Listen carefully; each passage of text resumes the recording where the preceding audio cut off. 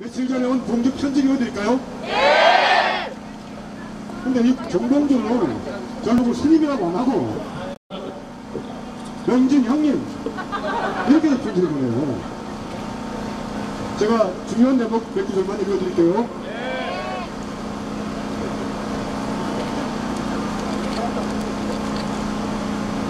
형님 스님과 F사 F사는 낙검수 그렇죠? 사랑하는 가족들을 만나기 위해서 제 팬들을 보고 싶어서 돌아가고 싶습니다. 그것이 인지상정이며 기본적인 것이겠죠.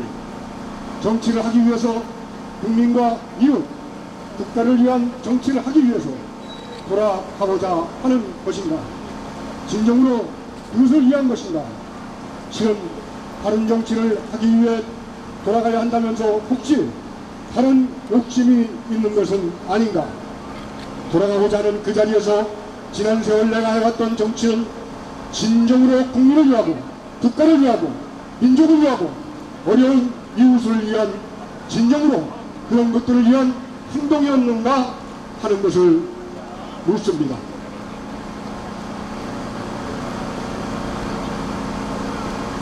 만일 그런 벅껍데기에 불과한 곳으로 돌아가기를 희망하면서 마치 진실된 정치회장으로 돌아가는 곳으로 제 자신도 속이고 모든 사람을 속이는 귀환이라면 돌아가지를 말아야지. 그런 귀환이 아니어야 한다고 제 자신을 때리고 또 때립니다. 제 평생 살아온 몸에 붙어있는 제 습은 제가 잘 알죠 제 인생의 새봄을 맞이하듯이 쾌락의 습을 벗겨버리고 진실의 정치로 돌아가 보렵니다. 그래야 제가 돌아가고자 하는 것의 의미가 있겠습니다. 형님 스님과 편지 소통하면서 마음이 트이는 즐거움이 있습니다. 형님께 편지를 쓰는 동안에는 이곳이 감옥인지 우주의 중심인지 잠시 착각에 빠지는 느낌입니다.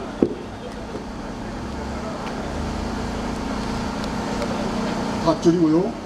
이 고통이 형님 스님의 말씀처럼 제 인생의 큰 축복의 시간으로 만들겠습니다. 형님과 늘 소통의 공간이 열려 있다는 것만으로도 천하의 명진 스님을 형님으로 모시게 된 이 감옥행이야말로 축복의 구분음들을 이미 넘어선 것입니다.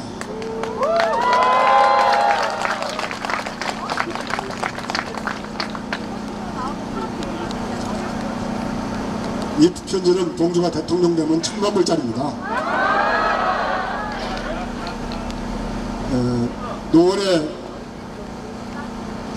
김영민 후보를 김영민 후보를 내 세워놓고 오늘 또 홍성도도서에서 잠 못 이루면서 조바심 치고 있을 정봉주 생각하면 가슴이 미어지죠. 똑같은 BBK 사건을 얘기했는데 박근혜 우리당 위원장은 괜찮고 정동준 감옥을 가야 저는 이러한 한국의 현실이 너무 서글프죠. 이명박이란 자는 아, 정과 13원입니다. 대통령에, 대통령에 대해서도 끝없는 거짓말로 연명을 하고 있습니다. 이번에 수원에서 어, 이 젊은 스물, 스물 살, 스물 몇 살 먹은 분이 살해를 당했습니다. 경찰에 전화를 했는데 7분이나 시간이 있었고 그 다음날 아침까지 다섯 여섯 시간 시간이 있음에도 불구하고 경찰이 출동을 안 합니다. 그리고는 거짓말합니다. 1분이다 2분이다 경찰이 몇명 갔었다 이 거짓말이 다 이명박한테 배운 겁니다.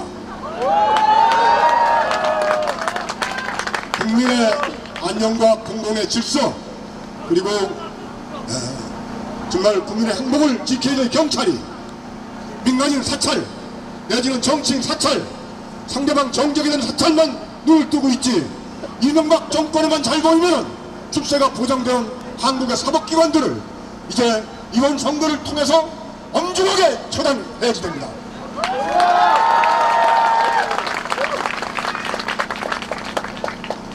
전과 14범의 대통령을 뽑았던 2007년의 대선에 대해서 우리 국민들이 부끄러워해야지 됩니다. 저는 노원구 잘 되길 바랍니다. 노원구 지역 사업 많이 하길 바랍니다. 김영민 후보가 설사 노원구 출신이 아니라 하더라도 이명박 정권에서 사당에 퍼부었던 40조에 달하는 예산 그리고 민간인 사찰 등 한강에 둥둥 뛰어놓고 놀고 있는 사립 둥둥섬 이런 예산 전부 줄여서 낙후된 지역, 변두리 지역 또 이러한 그 시내 중심부로부터 멀어져 있는 지역에 생활문화센터 지역 주민들을 위한 문화 공간을 만드는데 김용민만한 후보가 어디 있겠습니까?